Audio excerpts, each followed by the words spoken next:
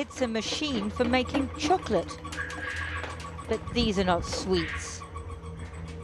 They're an addictive amphetamine, a Class A drug in the UK called Captagon. We've had rare access to an illegal factory in Lebanon's Bekaa Valley on the border with Syria.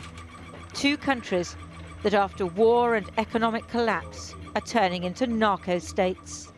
اذا كان في شغل بيعمل 600000 حبه اذا ما في شغل ما That's worth $3 million in Saudi Arabia, where thousands of addicts pay more than $10 a pill.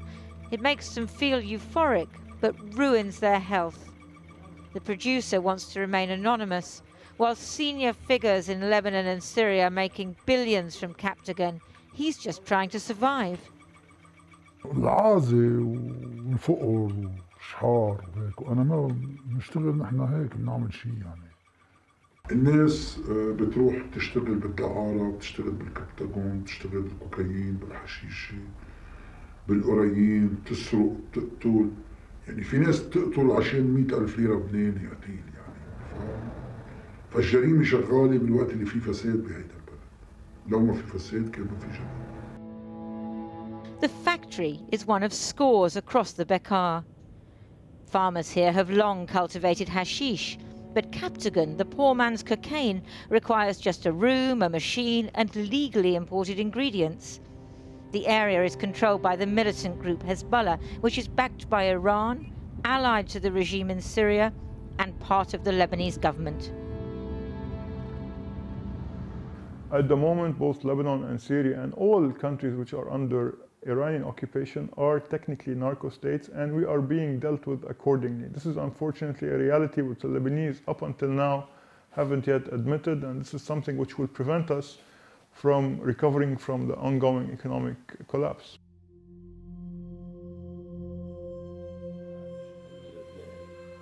Mohammed Jafar denies that he's involved in the drug trade himself, but as the head of a powerful Bekaa clan, admits that his gunmen guard the border, and some drug lords may be connected to his family. كبد يكون في تجار معروفة يعني عنا وبالأعلام معروفة عالميا كأنه جعفر أو زعيتر أو بعض العائلات Crime has engulfed Lebanon, he says, and blame lies with senior politicians and judges. نحن بلبنان لا سياسي عادلة سياسي فاسدة نظام مجرم قضاء مجرم ما في قضاء عنا كله قضاء فاسد ومجرم The symbol of Lebanon's failure as a state is Beirut port, which blew up 18 months ago because politicians and officials allowed dangerous nitrates to be stored there for six years. The ruined grain store looms over the city, and drugs make up an ever larger proportion of exports. Just last month, a shipment of oranges was intercepted at the port. The fruit was plastic, and inside, 9 million Captagon pills, destined for the Gulf. Oranges are not the only fruit. After a consignment of pomegranates turned out to contain the drugs, last year Saudi Arabia banned agricultural exports from Lebanon, a move that has only made farmers' lives harder. Captagon is manufactured not just in Lebanon but increasingly in Syria, which also has strong links with Iran. It's smuggled by land to Saudi Arabia, Jordan, and Turkey, and by sea, primarily to Qatar, Kuwait, the UAE, and Libya, and in small quantities to Europe. Back in 2018, the Greek Coast Guard apprehended the Noka, a Syrian flagged ship laden with Captagon, headed for the Libyan city of Benghazi. It had originated in the port of Latakia, the heartland of President Bashar al Assad. In 2020, legal exports from Syria were worth just one fifth of the value of seized Syrian Captagon. The Syrian president rarely appears in public now, but his cheerleaders keep up appearances. The army's 4th Division, commanded by his brother Maher, controls the area around Latakia and, according to several sources, the Captagon trade. Assad rules over a ruined state, a hollow victory after a decade of war. His only allies are Russia and Iran. drugs may not just be the regime's main income, while ordinary Syrians struggle to survive, but also a way for Assad to take revenge on Gulf countries, which supported the rebels who tried to oust him. This drug, particularly recently with the start of the Syrian civil war, has become a weapon and a tool that the Syrian regime as well as the Iranian regime uses against both Lebanon and the Gulf by making money from a very cheap produced drug as well as the ability to, uh, to smuggle it into the Gulf, which gives them a lot of money.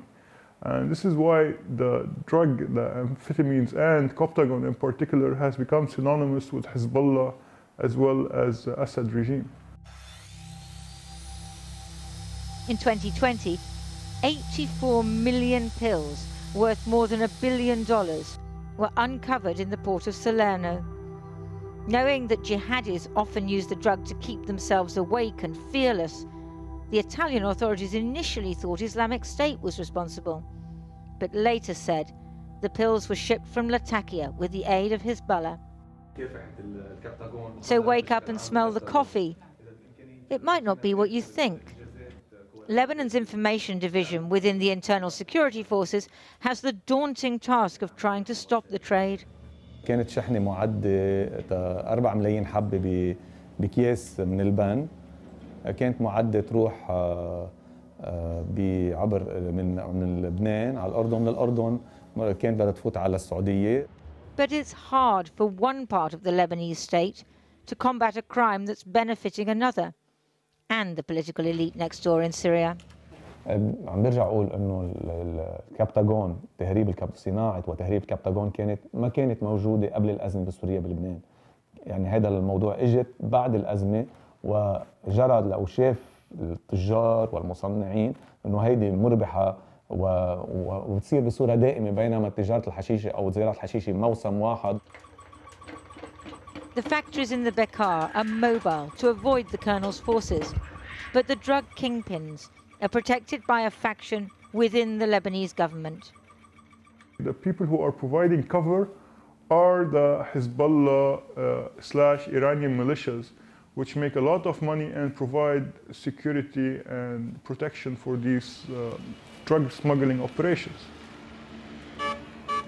On the streets of Beirut, the cash points have been vandalised. People can't withdraw their savings. The currency is worthless now anyway, and 80% of the population lives in poverty. The dividing line between a state and a criminal enterprise has become blurred. The Captagon trade is the product of war and corruption. Its consequences spreading from Beirut's ruined port across the Middle East.